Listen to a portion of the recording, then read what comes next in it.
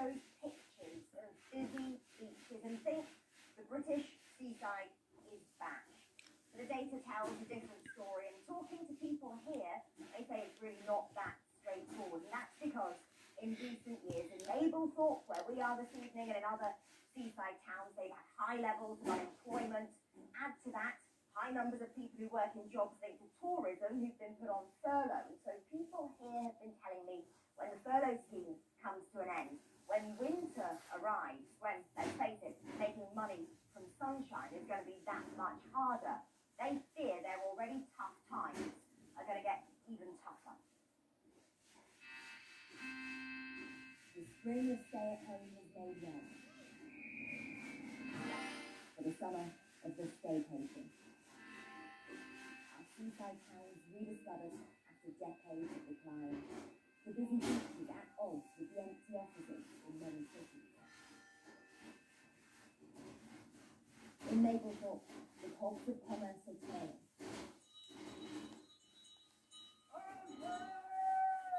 Welcome to Blade Runner Barber's Shop. God save the Queen! But the picture isn't perfect.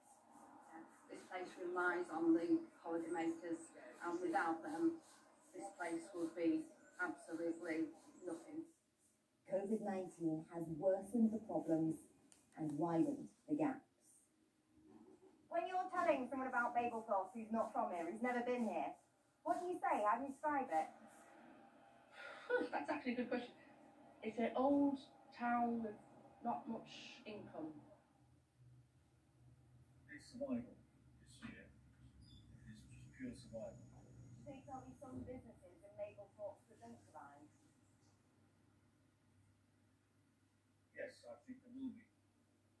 In seaside towns, the economics make for a precarious existence, hibernating through winter and reawakening in spring.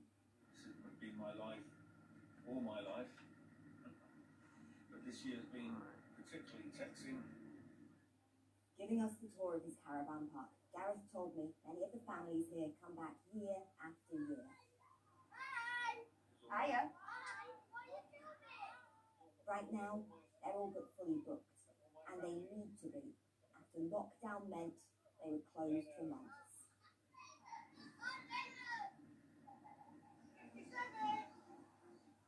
It's beautiful.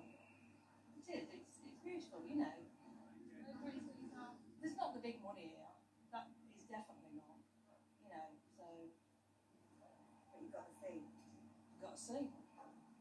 Yeah, you can walk down that seafront every day of the year. But since lockdown, there's been something missing from the seafront. The sand train's been running since the 50s. It's been Paul's job for 18 years until this year and social distancing. So what are you doing now? I'm packing fish in a factory in Grimsby. Um, it's a job. I mean, there's going to be winners and there's going to be losers. Um, I'm a loser, unfortunately, but I'll survive.